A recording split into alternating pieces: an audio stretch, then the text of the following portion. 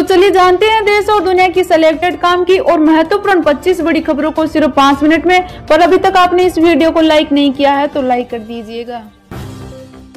अब नाबालिग से रेप और मोब ब्लीचिंग मामले में मौत की सजा तक का रहेगा प्रावधान। देशद्रोह कानून का होगा खात्मा। आईपीसी सीआरपीसी में बदलाव के लिए लोकसभा में पेश हुआ बिल। अमित शाह बोले, देश में अब नहीं चलेंगे अंग्रेज़ों के जमाने के कानून। लोकसभा की कार्यवाही अनिश्चित काल के लिए हुई। स्थगित कांग्रेस नेता अधीर रंजन चौधरी और आप सांसद राघव चड्ढा के निलंबन पर संसद के बाहर विपक्षी दलों ने किया विरोध। प्रदर्शन करके बोले, लोकतंत्र को ज़िंदा रखने के लिए हर जगह लड़ेंगे। पीएम मोदी मणिपुर पर हंस हंस कर बोले, ये शोभा नहीं देता। राहुल गांधी ने कहा, प्रधानमंत्री मणिपुर को जलाना चाहते हैं, बचाना नहीं। इंस्टाग्राम के ज़रिए सबसे ज़्यादा कमाई करने वाले भारतीय है विराट कोहली। एक पोस्ट से 14 करोड़ रुपए से ज़्यादा की कमाई करते हैं। जिन्हें चांदी की चम्मच में खाने की आदत, वो गरीब का दर्द, क्या समझेंगे? यूपी के सीएम योगी आदित्यनाथ ने सदन में अखिलेश यादव पर कसा तंज। अब दुनिया के किसी भी कोने में छिप जाए अपराधी, गायब रहने पर भी भारत में होगी सजा। मोदी सरकार ला रही है नया कानून। दिल्ली में हर घर तिरंगा बाइक रैली को उपराष्ट्रपति जगदीप धनखड़ ने हरी झंडी दिखाकर किया रवाना। केंद्रीय मंत्री जी किशन रेड्डी बोले 15 अगस्त को हर घर फहराए तिरंगा।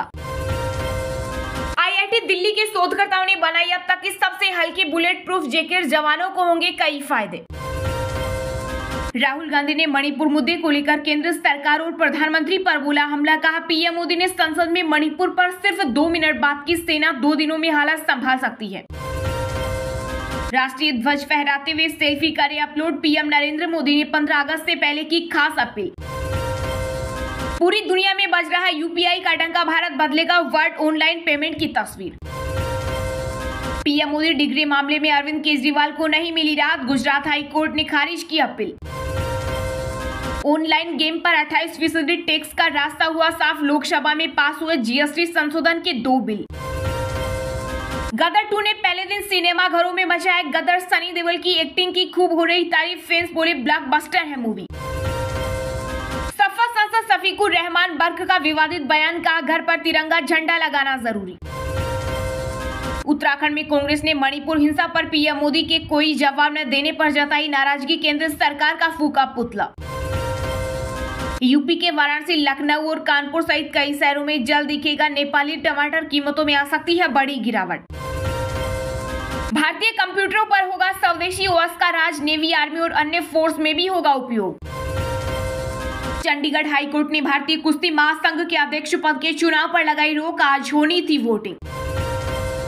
देश में प्राथमिक शिक्षा के बाद करीब पिछहत्तर प्रतिशत लड़कों और पैंसठ प्रतिशत लड़कियों ने छोड़ा स्कूल शिक्षा मंत्रालय की रिपोर्ट में हुआ खुलासा। धरती पर दोस्त चाँद पर होंगे पड़ोसी। सैंतालीस साल बाद रूस ने लॉन्च किया लूना 25 भारत के चंद्रयान थ्री से पहले चाँद पर लैंड कर सकता है रूसी लैंडर अमेरिकी राष्ट्रपति बाइडेन ने चीनी की अर्थव्यवस्था को बताया, बम बोले कभी भी हो सकता है धमाका। बच्चों की सुरक्षा के लिए स्कूलों में गार्ड की तैनाती करेगी दिल्ली सरकार। एमसीडी मेयर सेली ओब्राय ने किया ऐलान। जेकलिन फर्नाडिस के जन्मदिन पर जेल से आया प्यार भरा पैगाम, ठग सुकेश चंद्रशेखर ने एक्ट्रेस के लिए फिर लुटाया प्यार। जम्मू में कॉलेजों के बाद अब स्कूलों में भी एक वर्ष के लिए ठेके पर रखे जाएँगे शिक्षक, भर्ती प्रक्रिया हुई शुरू।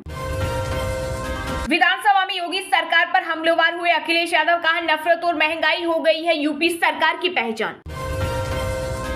अखिलेश यादव है। धोखेबाज 2027 में पहले आप होंगे क्लीन बोल्ड शिवपाल यादव पर योगी आदित्यनाथ ने कसा तंज।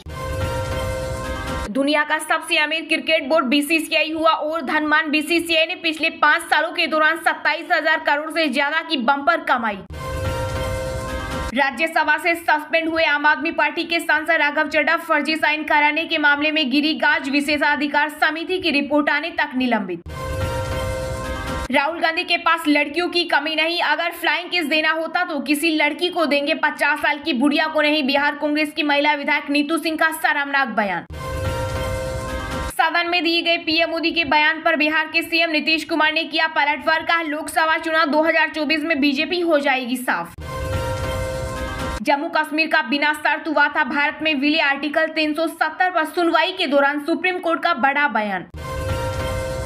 प्रधानमंत्री को कांग्रेस फोबिया ने जकड़ लिया है। विपक्ष बोला, पीएम मोदी ने सदन का इस्तेमाल चुनावी रैली की तरह किया। विपक्ष हो रहा है एकजुट। बिहार के डिप्टी सीएम तेजस्वी यादव बोले, इससे डर कर पीएम मोदी इंडिया गठबंधन को घमंडिया कह रहे अमेरिकी अभिनेत्री और गायिका मेरी मिलबेन ने मणिपुर मुद्दे पर पीएम मोदी का किया समर्थन, कहा, भारत को अपने नेता पर भरोसा। झारखंड में लोकसभा चुनाव को लेकर प्रशासनिक तैयारी शुरू। 21 अगस्त तक डोर टू डोर होगा मतदाताओं का भौतिक सत्यापन। धर्म के आधार पर नहीं लिया एक्शन, नुहा में बुलडोजर एक्शन पर कोर्ट में लगी हरियाणा की खट्टर सरकार। राजस्थान की गहलोत सरकार ने बिजली उपभोक्ताओं को दी बड़ी राहत, बिल से फ्यूल सरचार्ज को किया खत्म। 2028 में विपक्ष फिर लाएगा विश्वास प्रस्ताव, प्रधानमंत्री नरेंद्र मोदी ने सदन में की बड़ी भविष्यवाणी। दिल्ली की केजरीवाल सरकार ने स्कूलों में मोबाइल पर लगाई रोक जारी, की एडवाइजरी का क्लासरूम में मोबाइल कड़ाई से प्रतिबंधित हो। 11 से 16 अगस्त तक घरों, दुकानों और मदरसों पर लगाई तिरंगा ऑल इंडिया मुस्लिम जमात के अध्यक्ष मौलाना साहबुद्दीन रजवी ने मुसलमानों से की अपील। नाइजर में रह रहे भारतीयों के लिए सरकार ने जारी की एडवाइजरी जल्द भारत लौटने की दी सलाह। ऐसा कभी नहीं होता जैसे लोकसभा में हुआ नीरव का मतलब तो शांत होता है। इतनी सी बात पर सस्पेंड कर दिया अधीर रंजन के सस्पेंसर पर बोले कांग्रेस अध्यक्ष मल्लिकार्जुन खड़गे। मोहब्बत दिल में रहती है, दुकान में नहीं, भाजपा ने वीडियो के ज़रिए कांग्रेस नेता राहुल गांधी के बयान पर किया पलटवार। खालिस्तानी कट्टरपंथ की टूटेगी, कमर तीन दिवसीय भारत दौरे पर आए ब्रिटिश रक्षा मंत्री टूगेन हार्ट ने किया बड़ा ऐलान। पंजाब के तरनातन में घुसपैठ की कोशिश नाकाम। बीएसएफ ने फायरिंग कर पाकिस्तानी घुसपैठियों को किया ढेर।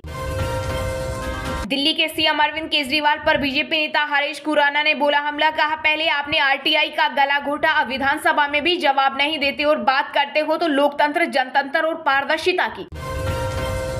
टाटा समूह की स्वामित्व वाली एयरलाइन एयर इंडिया को मिली नई पहचान। महाराजा की जगह अब दिखेगा द विस्टा का लोगो। रक्षाबंधन के अवसर पर बहनों को तोहफा देंगे मध्य प्रदेश के सीएम शिवराज सिंह चौहान। लाडली बहना योजना की राशि में हो सकता है इजाफा। भारत दो तक बनेगा दुनिया की दूसरी सबसे बड़ी अर्थव्यवस्था। जापान और अमेरिका छूट जाएँगे पीछे। हेट स्पीच अस्वीकार्य से जल्द से जल्द रोकने की ज़रूरत केंद्र को समिति बनाने का निर्देश।